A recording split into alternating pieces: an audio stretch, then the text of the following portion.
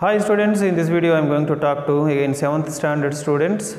Here in this video we are going to talk about life cycle of silkworms. Life cycle of silkworm. Okay, in the previous class what we have discussed? We have discussed about weaving process. How different fabrics are made. The weaving centers are there in our country in different areas and the the fabric that made in that place the fabric name is given based on the place where they are produced or where they are made and that I have taught you in the previous class. In this video I am going to talk to you about life cycle of silkworm. What? What is the lesson name? Animal fiber.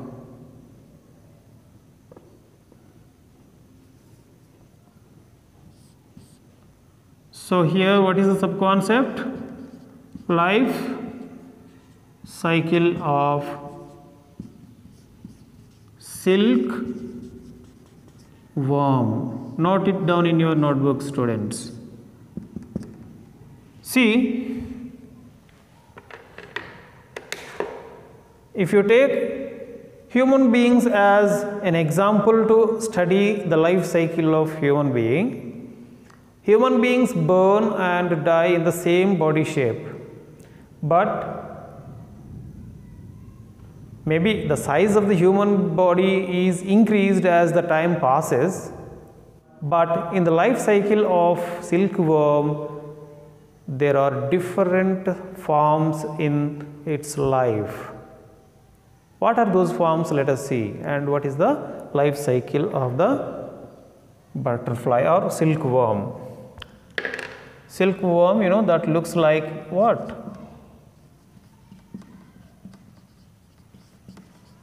Butterfly. Okay?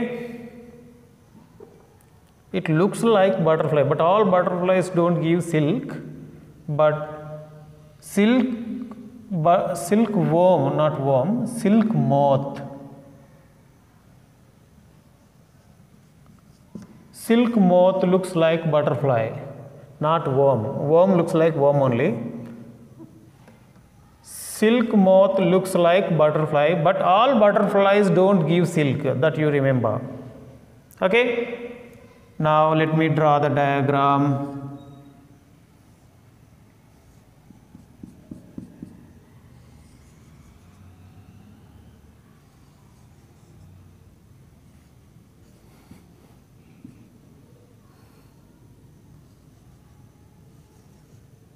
See students, it's an adult moth,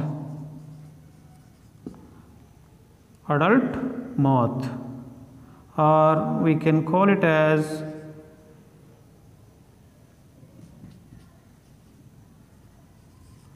imago. You know, it lays eggs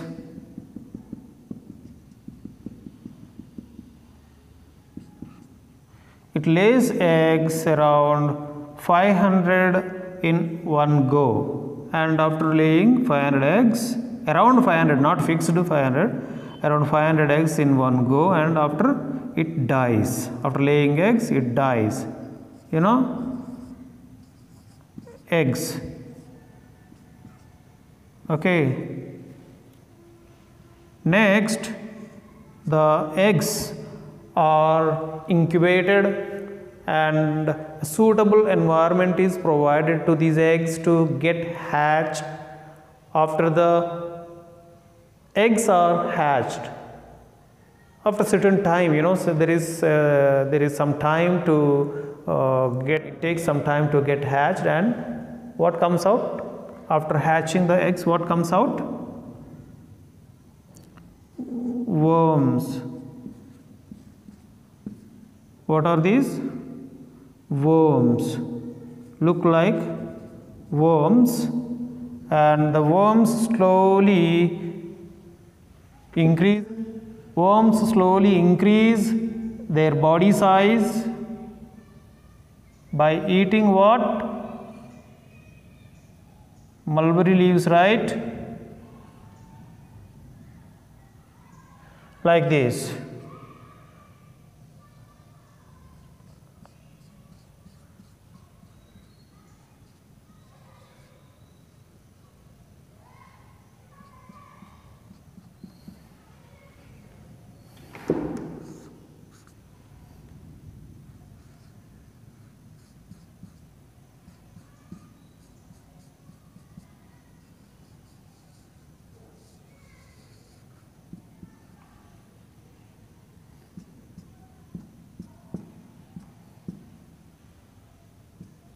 Yes.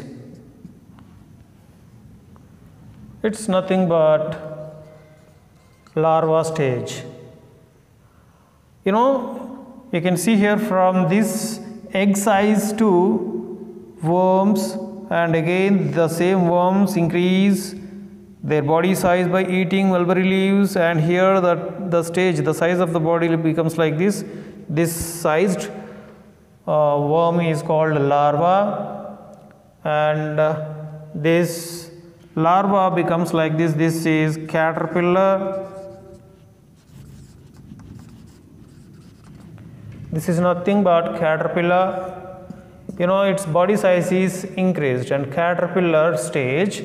In the caterpillar stage it secretes a saliva and as soon as the saliva comes out from its body that you know becomes very hard and it spins around its body. It spins around its body like this okay? And it covers whole of its body and looks like this.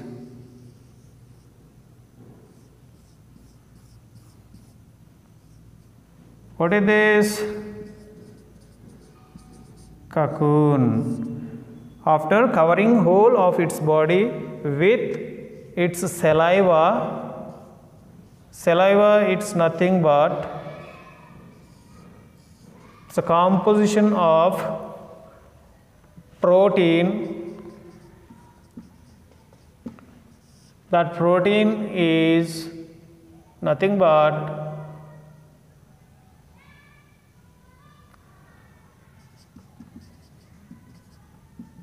sericin or fibroin?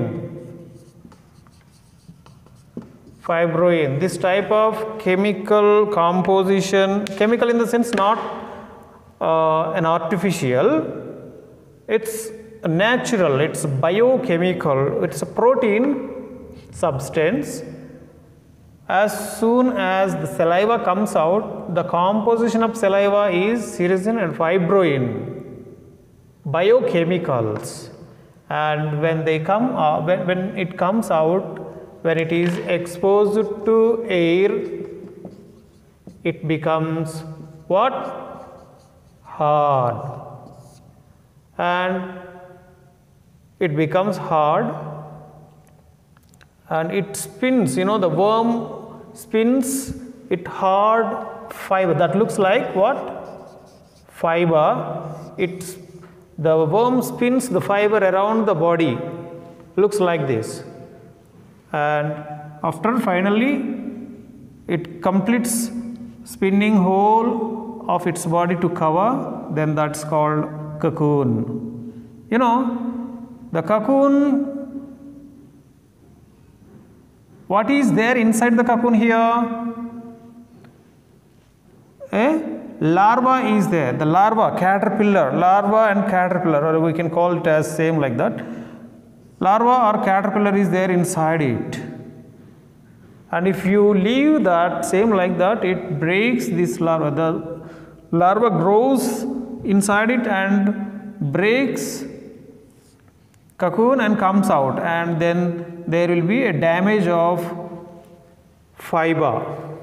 So we, if you want to understand the life cycle of silkworm, the cocoons are left like this and then the caterpillar or larva inside the cocoon grows adult and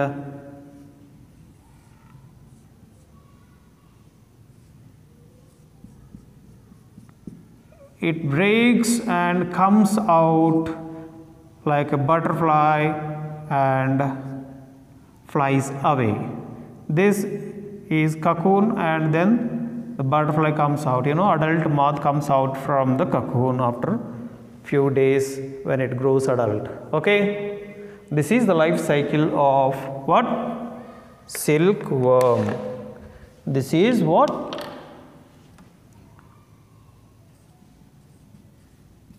Life cycle of silkworm see here first eggs uh, next eggs get hatch and come worms come out. Next worms develop into larva and larva develops into caterpillar and then cocoon then adult butterfly see the life process. See the life cycle in butterfly uh, or silkworm students here eggs and next level of its life cycle worms. And this one there are different forms in its life cycle. This kind of life cycle is called metamorphosis. I think the word is not given in your textbook. You please try to remember. Meta morphosis. Metamorphosis it's a process of life cycle with different forms of its life. Okay different forms in its life you know. Eggs and worms and caterpillar and cocoon and adult. So frog also. Frog also same like that metamorphosis. But here it gives silk but the frog life cycle is different there. Okay this is how we can understand the life cycle of silkworms yeah students in this video what we have learnt? We have learnt about animal fiber that silk and the life cycle of silkworm okay? Here you can see the different stages in life cycle of silkworm and the silk is made silk is produced. You know silk is produced from silkworm like this you know the caterpillar secretes saliva and spins around its body like this. And the life process you know life cycle is called metamorphosis. And the fiber you know that consists of sericin fibroin protein. When it is exposed to air that becomes hard and all. You know here one more thing that silk silk moth looks like butterfly but all butterflies don't give silk that you remember. And you know the life cycle of silk worm the name is given like this silkworm you can understand that. Okay? And in the next video we will speak about facts behind the sericulture. In sericulture the people those who are working for sericulture uh, what are the problems they are facing? And uh, and all we will discuss in the next class